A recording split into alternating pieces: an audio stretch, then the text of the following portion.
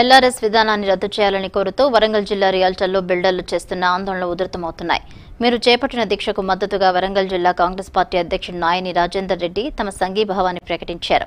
Warangal urban జిల్లా registration కార్యాలయం ఎదుట నిర్వహిస్తున్న రీలే నిరాహార దీక్ష శిబిరం దగ్గర రాజేందర్ రెడ్డి ఇన్ వరంగల్ మాజీ ఎంపీ సిరిసిల్ల రాజయ్య సందర్శించారు.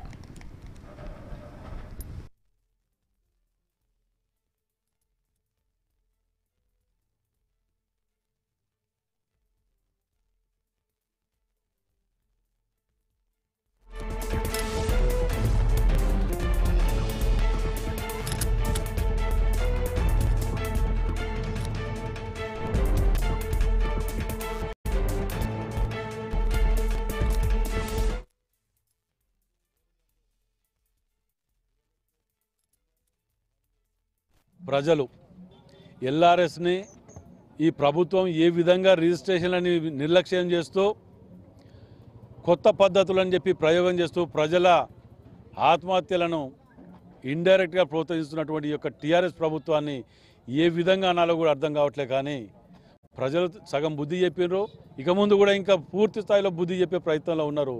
ఎందుకు అంటున్నామంటే గతంలో రైతులు ఆత్మహత్యలు చేసుకున్నారు.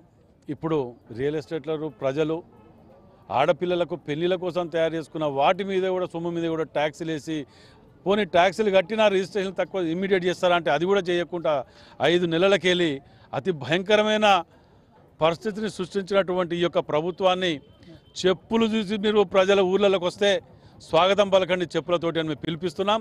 ఎందుకంటే వారి భాషలోనే మేము మాట్లాడవలసిన పరిస్థితి వచ్చింది ఇవాళ. వారు యాస యాస భాష పెట్టి ప్రజలని